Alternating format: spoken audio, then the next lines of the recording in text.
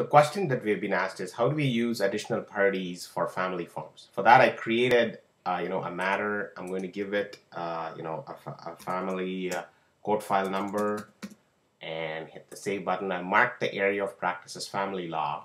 Now, if I don't have any additional parties filled up, the software will tend to use the previous way, which is like when you do forms and you do family, it will ask you, you know, respondents, and you can say, oh, Adam Brown is one respondent, and you can say uh, Thomas Jones is another respondent, and then choose their uh, corresponding, uh, uh you know, uh, representatives. And then for child, you can say the Crown, you know, and then you can say Ottawa courthouse, and then download the form. That's the old way of doing things.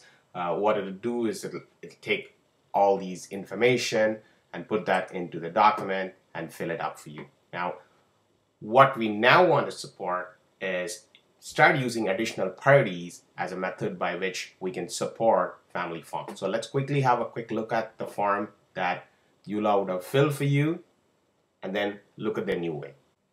So as you see here, Emma Brown, which is a primary applicant in this matter, is here. Jason Bourne, the lawyer in this account, is actually filled here. And the two respondents that we whom we picked, Adam Brown and Thomas Jones, and their corresponding lawyers are actually picked here. Okay, and the child representative, if you had picked, would have come here. Now I'm going to show uh, a way by which we're going to do the same thing in additional parties. Now to do that, you click on add parties and then you can add start adding one by one the browns like for example Adam Brown is a respondent you can add him and save now right after you added Adam Brown you need to add his or her representative let's say Stefan Edberg is the representative of uh, of uh, Adam Brown you would add it right here similarly if you had more like for example Thomas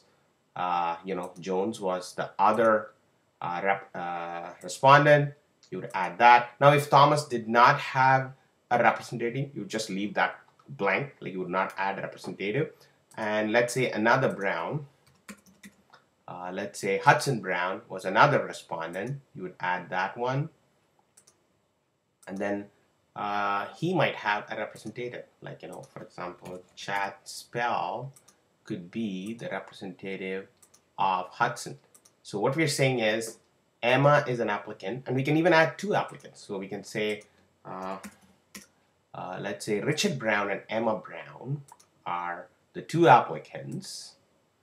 Okay, and Richard representative is say Jason, same as Emma's, right? We can just say he is just uh, a representative and we can also add child representative. Like for example, you can say uh, Mr. Spell is also the child representative.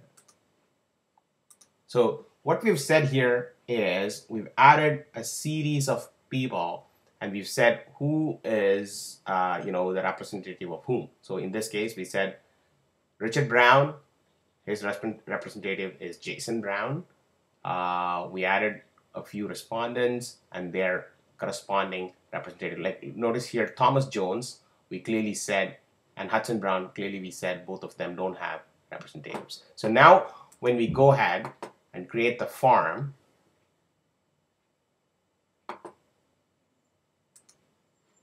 so you notice that it's not asking you for any of this information. You can say Ottawa and download. Now you will see that the software is smart enough. It figures out, you know, based on the order in which we have given things, who is who's representative, and it'll actually fill the form.